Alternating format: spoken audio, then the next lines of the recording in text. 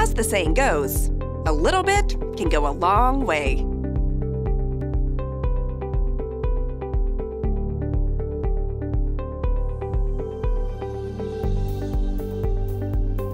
Take this three-piece coffee table set, for instance.